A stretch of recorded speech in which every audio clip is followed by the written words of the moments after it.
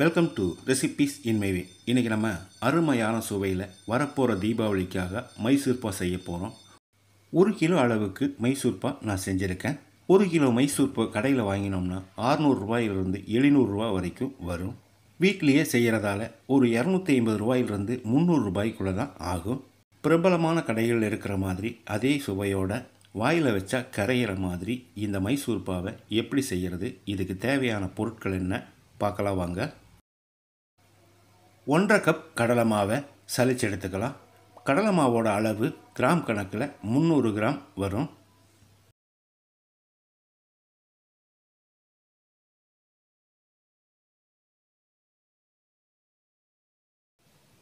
சலிச்செடுத்த இந்த கடலை மாவை பேனில் போட்டுக்கலாம்.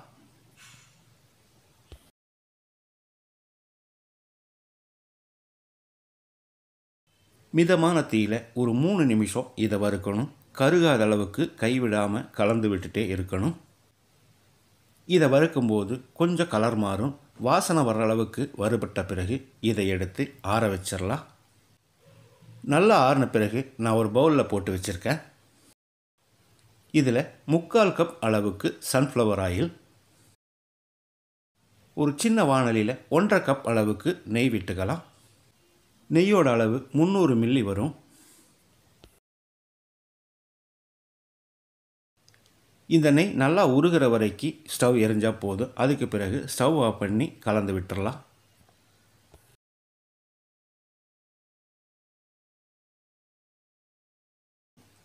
உருகின இந்த நெய்யிலிருந்து ஒரு அரை கப் அளவுக்கு எடுத்துக்கலாம்.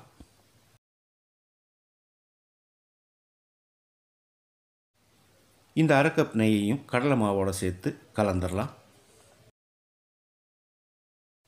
கொஞ்சம் கூட கட்டி இல்லாத அளவுக்கு இதை நல்லா கலக்கணும்.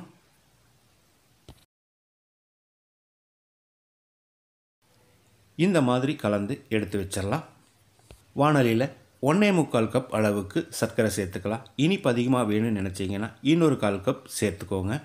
சர்க்கரையோட அளவு முந்நூற்றி ஐம்பது கிராம். முக்கால் கப் தண்ணி ஊற்றி கலந்து விட்டுறலாம். அளவான தீயிலேயே ஸ்டவ் எரியட்டும். இந்த சர்க்கரை கரைசல் பாகுப்பதம் வர்றதுக்கு கிட்டத்தட்ட பத்து நிமிஷம் பிடிக்கும்.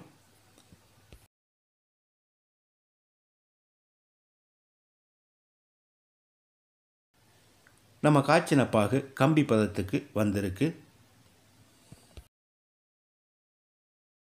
இப்போ ஸ்டவ்வில் தீயை குறைச்சி வச்சு கடலை மாவு கரைசலை ஊற்றிடலாம்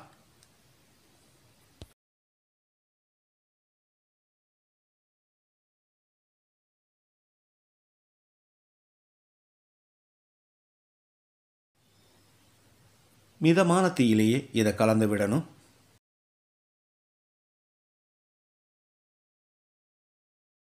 ஒரு ரெண்டு மூணு நிமிஷம் கலந்து விடும்போது கொதிச்சு வரும். அந்த ஸ்டேஜில் நம்ம கொஞ்சம் கொஞ்சமாக நெய் சேர்த்துக்கலாம்.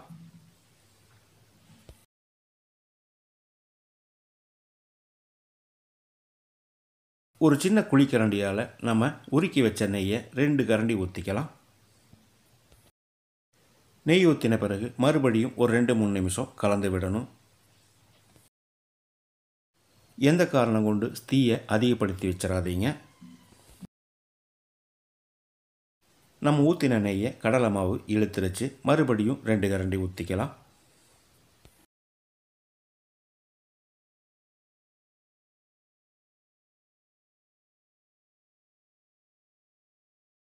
இது முழுமையான பதம் வர்றதுக்கு ஒரு பன்னெண்டு நிமிஷம் பிடிக்கும். அது வரைக்கும் இருக்கிற நெய்யை ரெண்டு ரெண்டு கரண்டியாக ஊற்றி கலந்து விட்டுட்டே இருக்கணும்.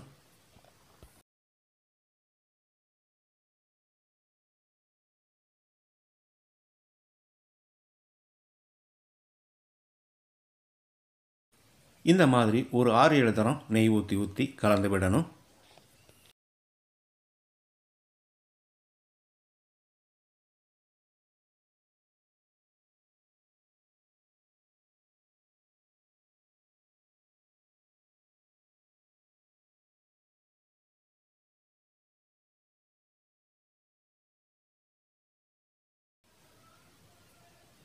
ஓரங்களில் நுரைச்சி வர ஆரம்பிச்சிருச்சு.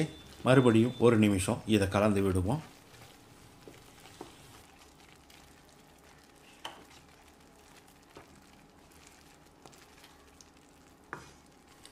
இந்த மாதிரி ஓரங்களில் நுரைச்சி வர்ற இந்த ஸ்டேஜில் ஸ்டவ் ஆஃப் பண்ணிவிட்டு மீதி இருக்கிற ஒரு ரெண்டு நெய்யையும் ஊற்றிக்கலாம்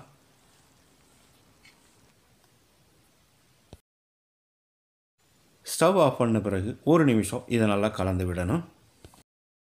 இப்போ இதை பிளேட்டில் ஊற்றிடலாம் நான் ஏற்கனவே பிளேட்டில் பட்டர் பேப்பர் வச்சு நெய் தடவி வச்சுருக்கேன். அதில் ஊற்றிடுவோம்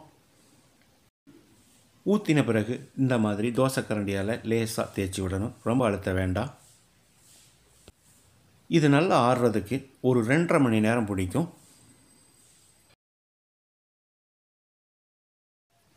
ரெண்டரை மணி நேரம் ஆறிடுச்சு. பிளேட் லேசாக இருக்கிறதால ஓரங்களில் இந்த மாதிரி இழுத்து விட்டாலே போதுமானது.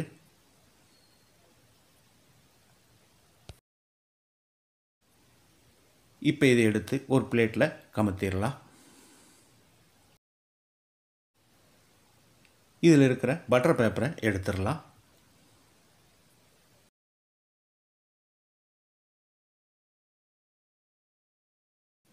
உங்களுக்கு தேவையான ஷேப்பில் கட் பண்ணிக்கோங்க. நான் நீல வாக்கில் கட் பண்ணுறேன்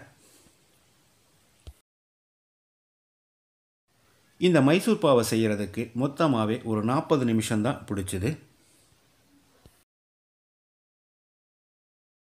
ஒரு கிலோ அளவுக்கு அருமையான சுவையில் வாயில் வச்சா கரையிற மாதிரி ரொம்ப மிருதுவான இந்த மைசூர் பாவை.